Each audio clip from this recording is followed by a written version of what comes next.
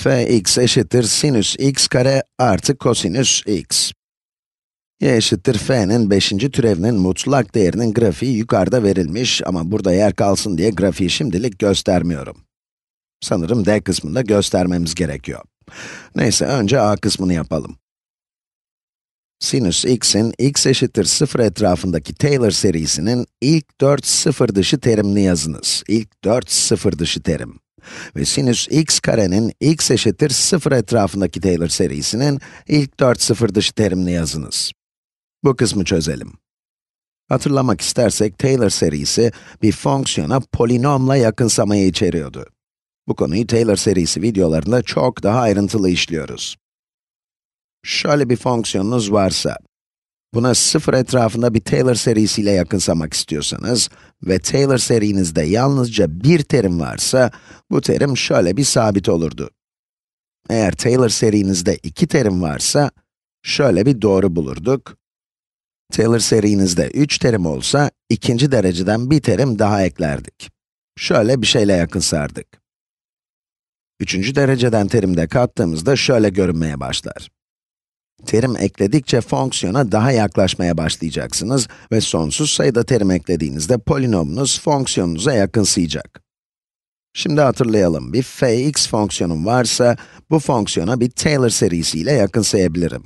Ve bu yakınsamayı sıfır etrafında alacaksam, Taylor serisi şöyle olacak.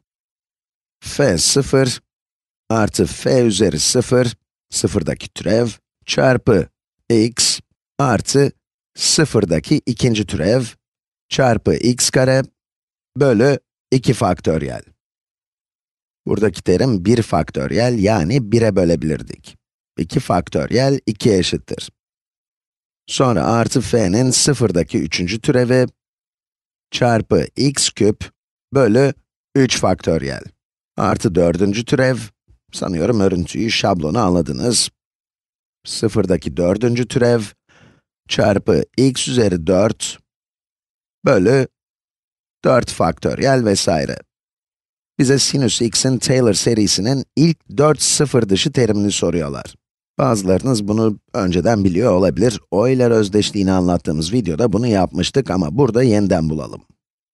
Adına gx diyelim çünkü fx burada tanımlanmış.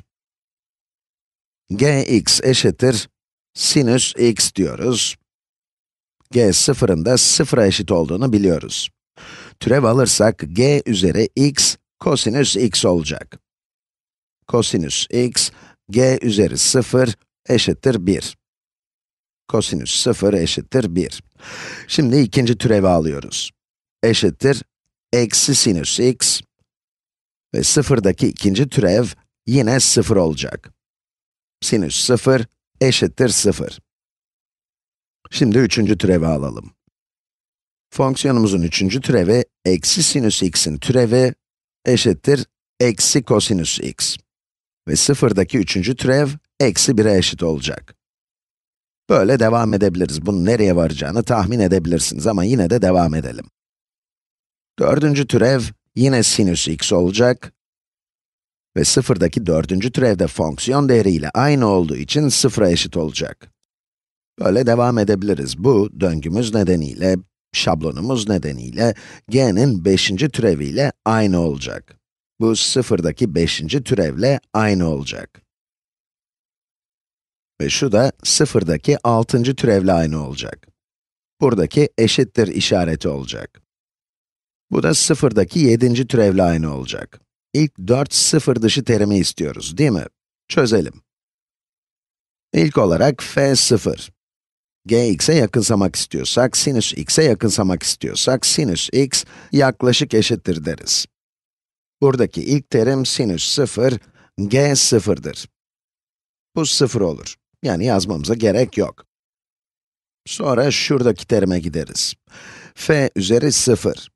Bu durumda g üzeri 0 eşittir 1. Yani 1 çarpı x olacak. Burada bir x olacak. Bir sonraki terimde 0, bunu görüyoruz çünkü fonksiyonumuzun sıfırdaki ikinci türevi sıfıra eşit. Fonksiyonumuzun sıfırdaki üçüncü türevi 1. Yani bu terim yazılacak. Aslında bu terim eksi 1. Burada hata yapmak istemiyorum, burada hata yapmayalım. Eksi 1. Türev eksi kosinüs x'ti.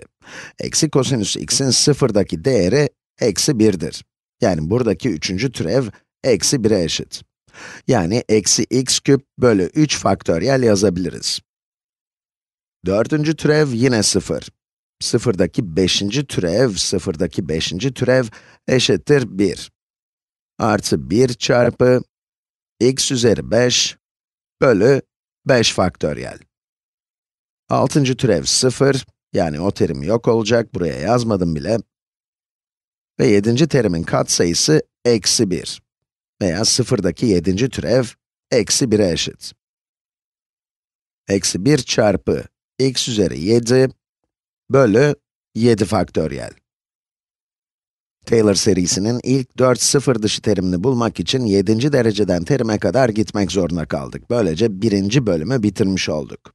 Sinüs x'in ilk 4 sıfır dışı terimini bulduk. Peki sinüs kare x ne olacak veya sinüs x kare? Burada dikkat etmemiz gerekiyor. Bu formüle koymak isteyebilirsiniz ama ikinci ve üçüncü türevleri almaya başladığınızda işlemlerin çok karıştığını göreceksiniz. Ama şöyle diyebilirsiniz.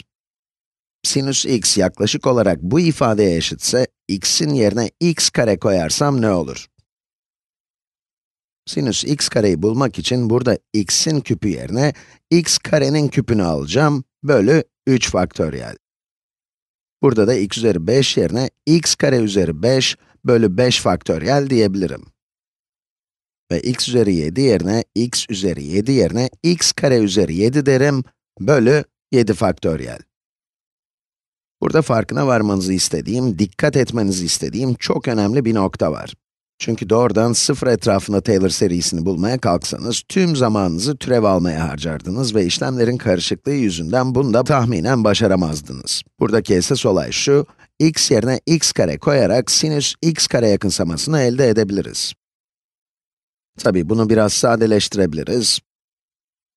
Bu yaklaşık eşittir x kare eksi x üzeri 6 bölü 3 faktöriyel artı x üzeri 10 bölü 5 faktöriyel eksi x üzeri 14 bölü 7 faktöriyel. Sorunun ikinci kısmı da böyle. Şahane.